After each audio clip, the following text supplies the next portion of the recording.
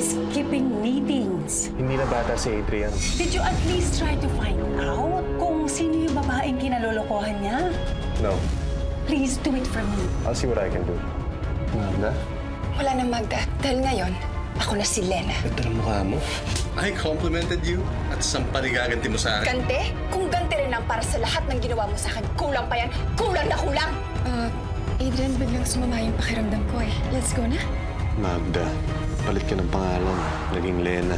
At kasama mo si Adrian. Anong binabalak mo? Pag nagsalita si Miguel sa mga narsiso, malalaman nila na may binabala ka sa kanila. Hindi ko po hayaan na mangyari yon. Hindi po pwede na masira ang plano natin. Kailangang mapigilan natin si Miguel na magsalita. Kailangan kita makausap. Good. Dahil balak din kitang kausapin. Gusto ko malaman, anong ginagawa mo kagabi? Kasama si Adrian. Sasagutin ko lahat ng tanong mo. Pero wag dito.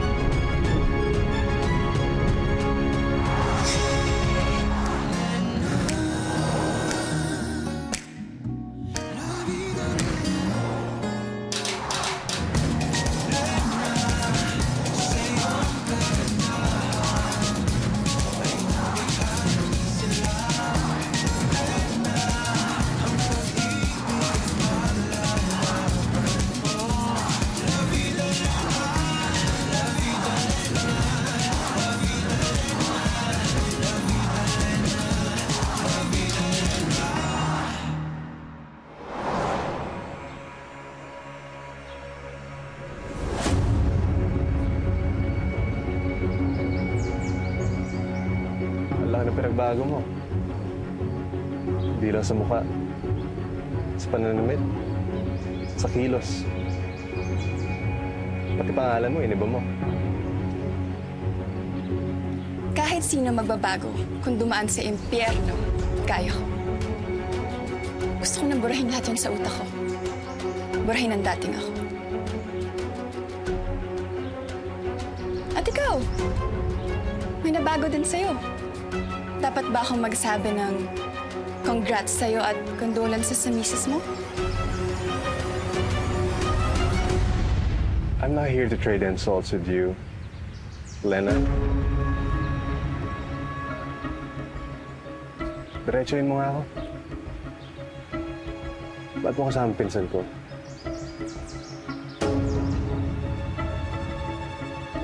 Wala naman siguro masama dun, di ba? Binata siya, talaga ako. Ano, gagamitin mo siya? Para makaganti ka sa pamilya namin? Oo. Gusto kong gumanti kay Lucas. Gusto kong sirain lahat ng mahalaga sa kanya. At kasama doon ang nag-iisa niyang anak. Gusto kong sirain ang relasyon nila mag-ama. At alam ko, hindi lang ako may gusto noon, Miguel. Pati ikaw. Ano pinagsasabi mo? Huwag na tayo maglokohan. Nakwento sa akin ni Adrian yung tungkol sa inyong dalawa. Gusto mo daw agawin ang posisyon niya sa kumpanya niyo? Wala akong gustong agawin. I just want what I deserve. At hindi mo makukuha yon hanggat pinapabura ni Lucas si Adrian. Dahil siya ang anak, tama ba? Sa mata ni Lucas, Adrian will always be number one. Ayaw mo ba maging number one, Miguel? Tutulungan kita makuha yon. Kung tutulungan mo ko. Tutulungan kita. Sabihin mo nga sa akin kung bakit kita pagtitiwalaan. Dahil iisa lang gusto natin. Kahit anong gawin mo, hindi ka aangat. Hanggat hindi nasisira si Adrian sa mata ni Lucas. Ako. Ako ang sasabotay kay Adrian para sa'yo. Ang kailangan mo lang gawin, manahimik.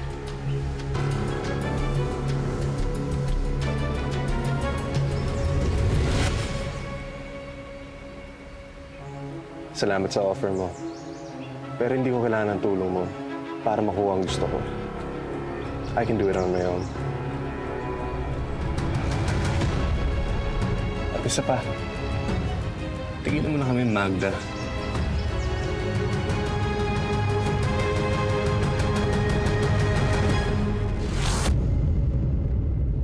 Sir, Ay, po. hindi ba sa'yo nasabi ni Tito Lucas na may meeting kami? Ay, Na-move po kasi yung interview niya with Mogul Magazine. Pero patapos na po yan, sir. Okay, sige. Thank you. We can begin? Yes. Okay. Um, so Royal Wellness is a Narciso legacy. Uh, dugo at pawis ang pinuhunan dito ng father ko. At ito naman ang ipinamana niya sa akin. At ah, mas lalo niyong pinalago ang pamana sa inyo ng father niyo. Well, I, uh, I did my best. And I'm confident that my son will uh, make this company more successful someday. Ah, at mukhang hindi lang si Adrian ang nagmana sa husay niyo sa business, pati na rin ang pamangkin niyong si Miguel. Yes, uh, well, uh, Miguel will do a good job assisting my son in running uh, Royal Wellness in the future. But my son, he, he has a natural gift. Um, Hindi niya pa ako binibigo kahit minsan.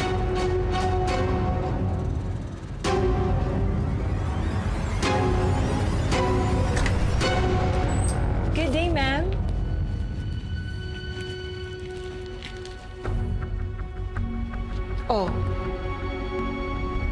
Kumusta? Hindi po siya pumayag. Kung ganun, dapat unahan mo si Miguel. Umamin ka na kay Adrian. Pero hindi pa po ito ang tamang panahon. Tama si Doc Ramona. Wala kang magagawa. Kailangan malaman ni Adrian mula sa'yo. Kaysa manggaling pa kay Miguel.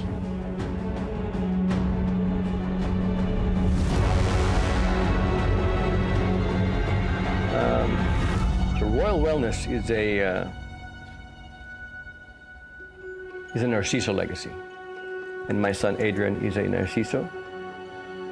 And um, lahat ng pinaghirapan ko, all this, this empire, this kingdom, it's all for him.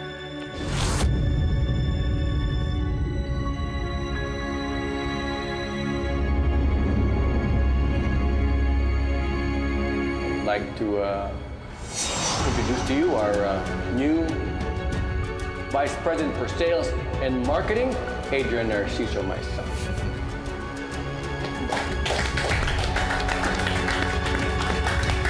Thank you.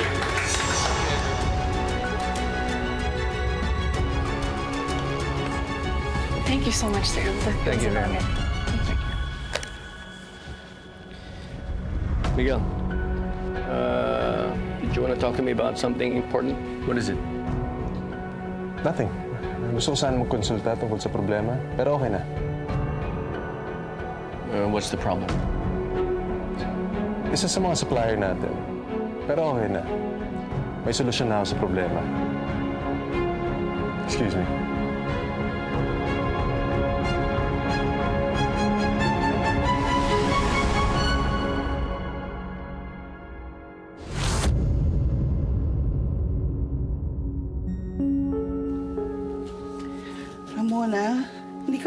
Uuwi? Alam mo, sa career research mo niyan, malamang talaga ikaw ng pinaka-expert tungkol dyan kay Lucas Narciso. Wala naman ako makita sa, sa internet na importante. Lahat puro papuri, puro kasinungalingan. Walang kwenta.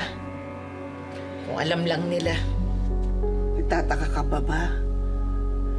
Importante sa mga Narciso ang public image. Kaya ang Royal Wellness may sarili silang PR team. All articles, lahat dumadaan yun sa kanila.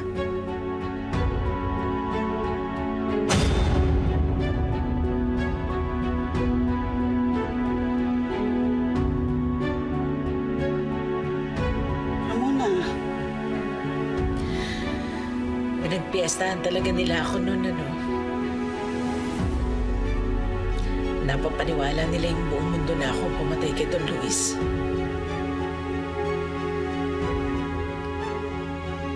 Pero hindi dun sa mga tao na totoong nakakakilala sa'yo, tulad ko. Hindi kami naniniwala tungkol sa nangyaring yan. Pero alam mo, pala isipan pa rin yan sa akin hanggang ngayon. Kung hindi ikaw ang pumatay kay Don Luis, sino?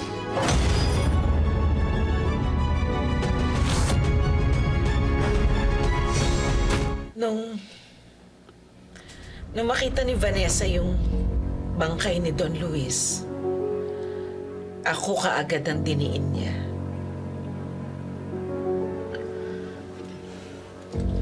Alam mo, dati buong paniniwala ko tungkol dun sa sinasabi ni Vanessa na ikaw ang pumatay kay Don Luis.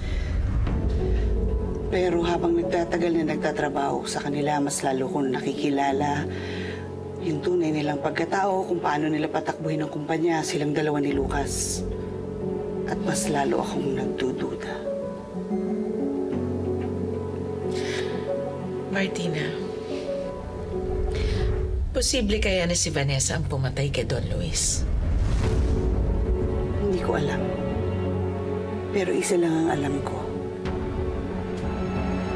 Yung pinapakita nilang ang pagkatao nila, hindi yun totoo.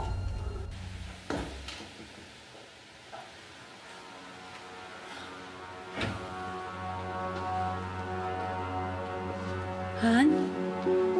It's late. Hindi ka pa ba matutulog? Paano ako makakatulog?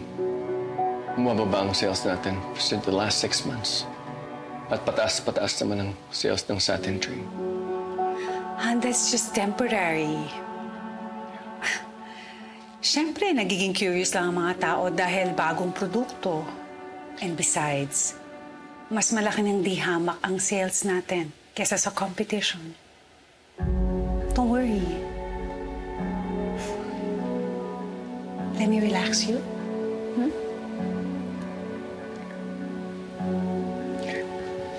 I'll follow.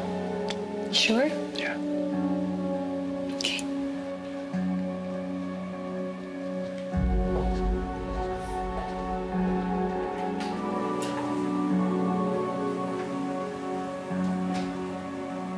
Marami ng inargabyado at maraming sinaktan ang mga narsiso. Hindi lang ikaw, ako, si Lena, marami pang iba. Padating na ang karma nila. Mananagot ang pamilyang yon sa lahat ng kasalanan nila.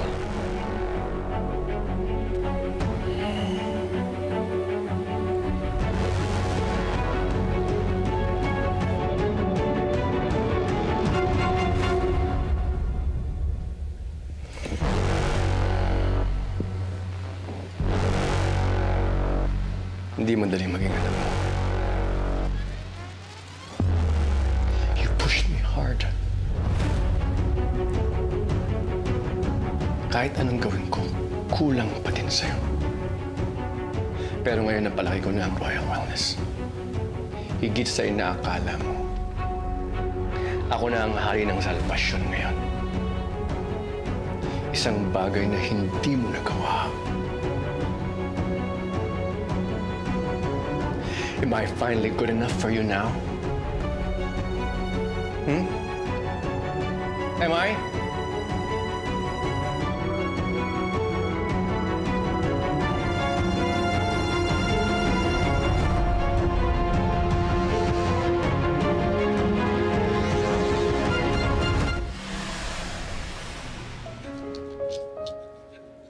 Lena, are you okay? Kanina ka pa tahimik dyan ah. Anong problema?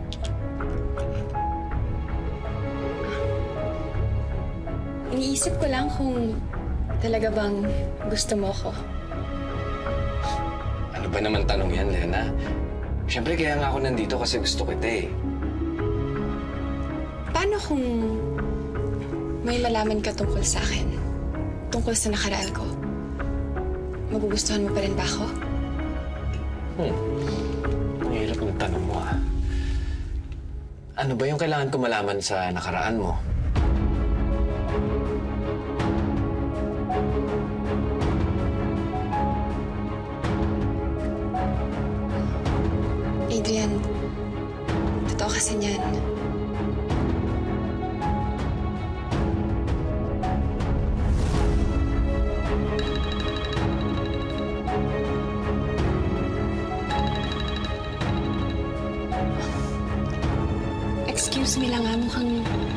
Sobrang importante talaga to.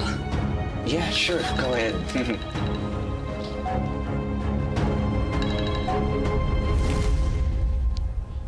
Chay, ano ba yung importante mong sasabihin?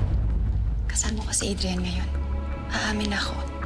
Nako, wag, wag kang aamin. Bakit? Kasi, nandito sa MNR si Miguel. Hinahanap ka niya.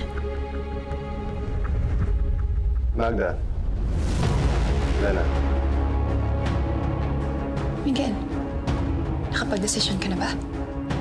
Magkita tayo.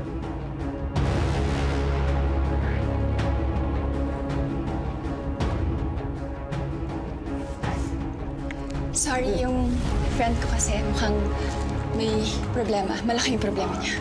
It's okay. By the way, so, yung pinag-uusapan natin kanina about your past,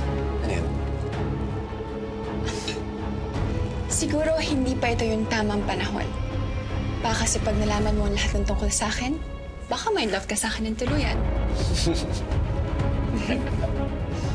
Nagbago bigla isip mo ah. Pero alam mo, nakaka-curious talaga ako sa'yo.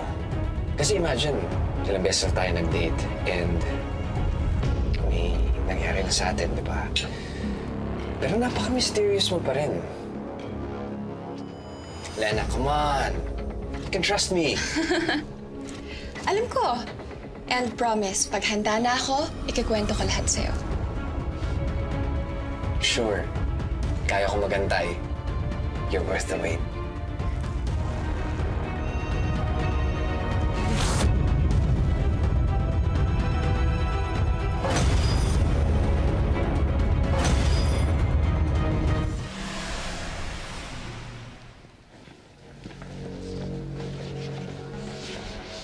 Bakit ngayon ka lang? Miguel! Ba't ka umiinom dito sa dilim? Ha? Is there anything wrong? Miguel, alam kong may problema ka. Is it Tito Lucas or Adrian? Soon. Everything will be okay.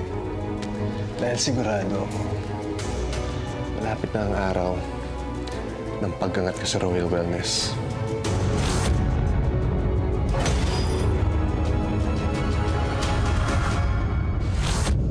Makikipagtulungan ako sa'yo. Hindi matatanggap ni Tito kung makikipagrelasyon siya with an enemy. Pag nangyari yon, ikaw ang papaboran ni Lucas. Tama? Ngayong Miyerkules, sa bagong kasabwat. Mukhang nakakatulong yung bagong inspirasyon mo sa'yo ah. Pero sa tingin ko, hindi siya tama para sa'yo. Anong pinagsasabi mo? Ang plano ay dapat maingat. Minsan ka na niyang niloko. Tapos ngayon, handa siyang lokohin yung pamilya niya. Mahirap magtiwala sa ganung tao. Kung gusto niya ng laro, makikipaglaro ako.